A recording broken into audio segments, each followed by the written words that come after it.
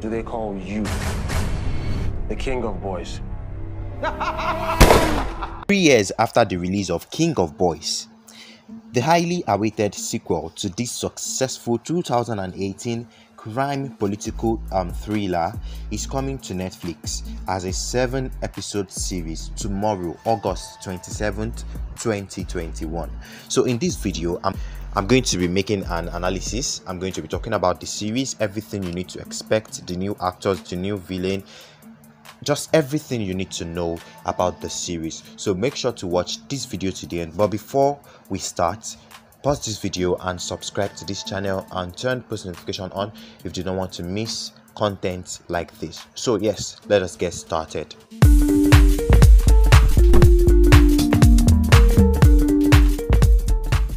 Yes, before we start, let us do a quick recap of what happened in the 2018 movie. So we all know what happened between Eniola Salami, she was the king of boys in the movie, and then there was um, Makanaki who wanted to become the head of the table. So he so he made sure he did all he could to take Eniola Salami out of um, as the head of the table.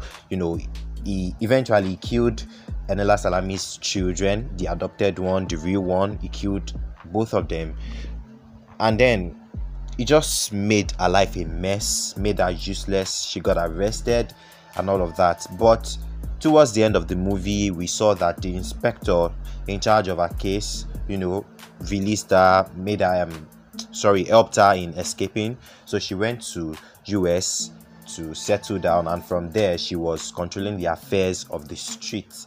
So, and also we saw that Makanaki was shot in the movie. But now, after five years in the US, the King of Boys is back to Nigeria. But now, I think there is going to be a huge competition on who is def- is going to be the king of boys because I can see some new faces, some new villains stronger than her in this series. So I'm just expecting so much drama from you know I'm expecting a new wave of competition, a new wave of struggle, power struggle of who is going to be the king of boys.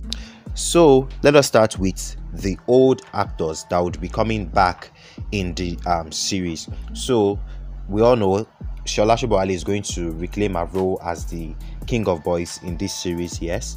So that aside, and also we saw that Makanaki was shot in the movie, but it seems like Reminisce is going to come back as Makanaki in the series because before the announcement that it, it will be made a series. It was supposed to be a part two. So Kemi Adetiba, the director of the film of the series, released a teaser interpreting or showing or making it obvious that Makanaki is going to be back in the series. And also Odogwu Malay, played by Il in the uh, movie, is going to come back to reclaim his role as well. He was the one that shot Makanaki in the movie.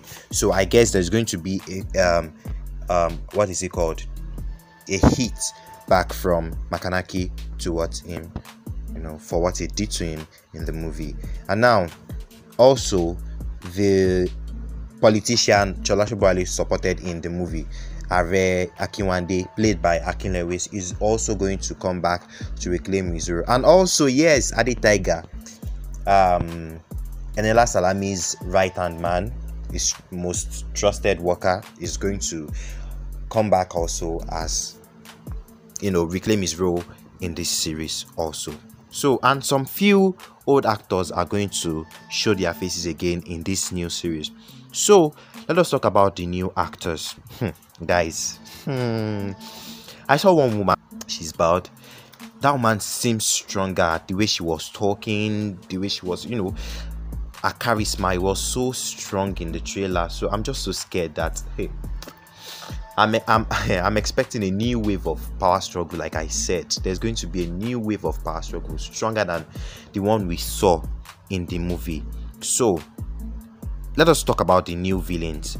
There in the trailer, I saw um a woman or a lady or a woman, yes, named First Lady Jumoke Randle, played by Nse Ikpe-Etim. She seems very strong, you know, she was threatening Eniola in the trailer.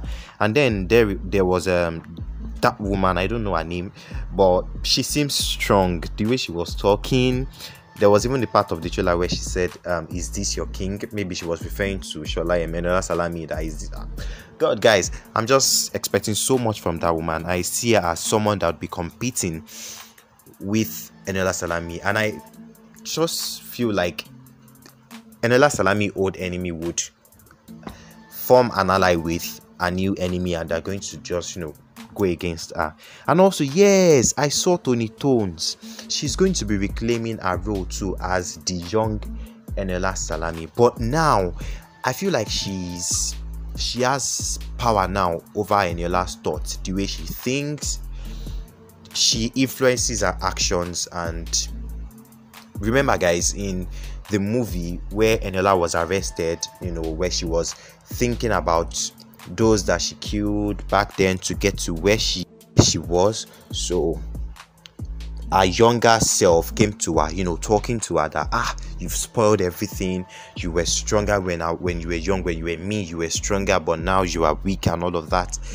So that young our younger self was brutal was merciless. So that younger self is going to come back to be influencing her in making decisions bad ones because i saw her shouting and you know getting into her head telling her that the only reason why she's trying to compete I, th- I think she's going to she's she wants to be um i think the governor also she wants to run for the governor.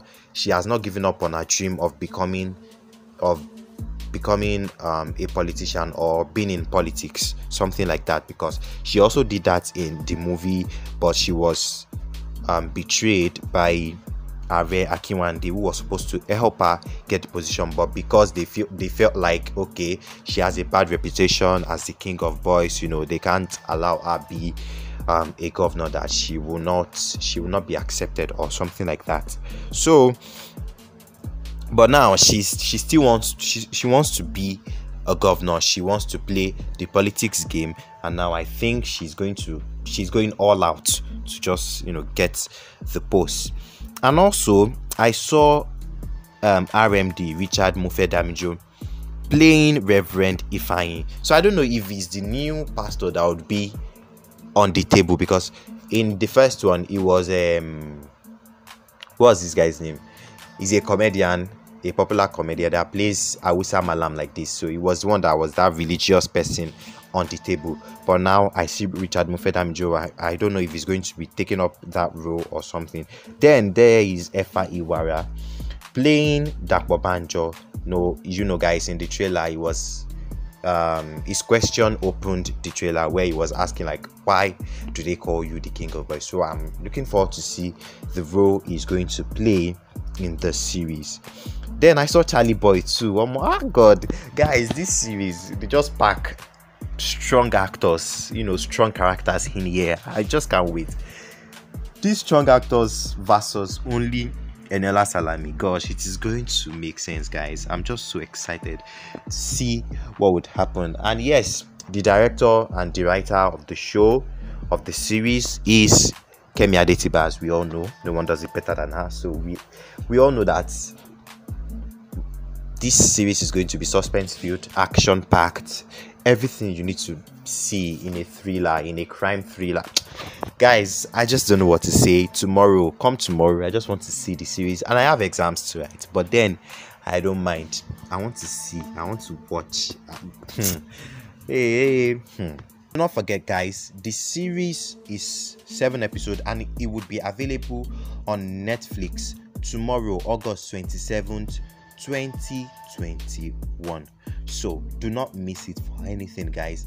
And also yes you know i would ask for your opinion. So what are your own expectations for this new series? What what are the things you think will happen?